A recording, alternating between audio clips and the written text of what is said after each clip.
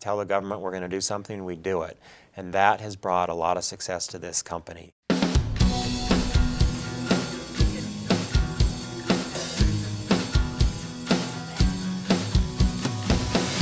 The bottom line is performance.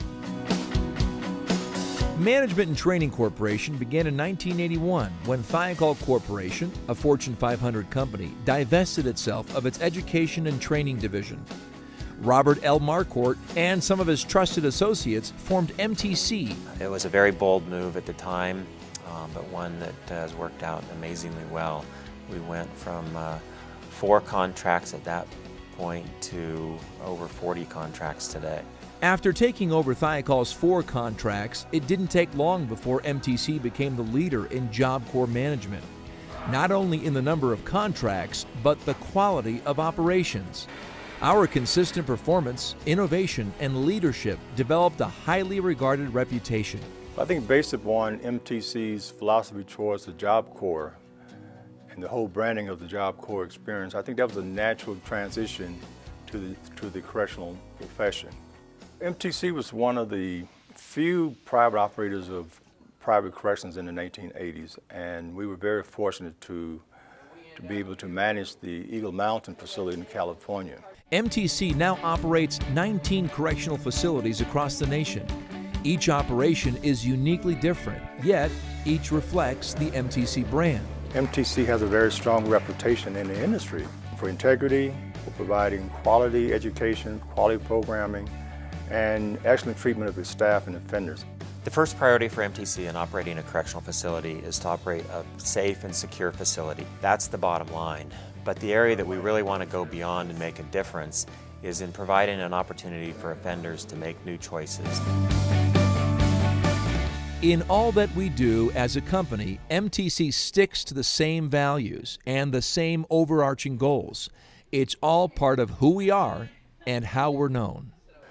I think when you talk to uh, officials, public officials, and other private officials in the industry, they're all very consistent about MTC's reputation. The fact that our ethics are very strong, our performance is very high, and that we are one of the systems, private systems has been very consistent in the correctional industry, and that reputation uh, permeates through, throughout our industry.